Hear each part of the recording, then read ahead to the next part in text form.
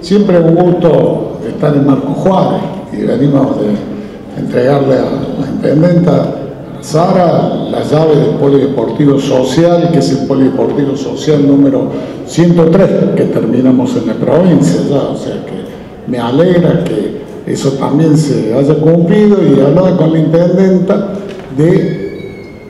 la necesidad de ampliar la red de gas natural en la ciudad de Marco Juárez, la intendenta tiene la decisión y como provincia nosotros vamos a darle el apoyo a través de, los créditos que hay para hacer la red de gas natural en la ciudad, como hay para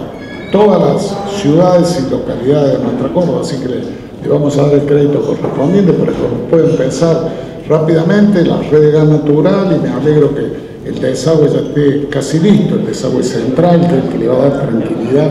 a todo, a todo Marco Juárez, a la zona central de la ciudad, y esto significa de que nosotros seguimos trabajando,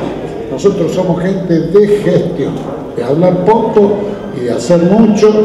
de cumplir lo que prometemos y lo que decimos que vamos a hacer, lo hacemos. Dicho esto que tiene que ver acción,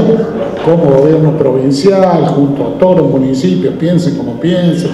sientan como sientan. Quiero reiterar mi alegría de estar en Marco Juárez. Llevo Marco Juárez, que es una de las ciudades más pujantes, más productivas que, tiene nuestra Córdoba.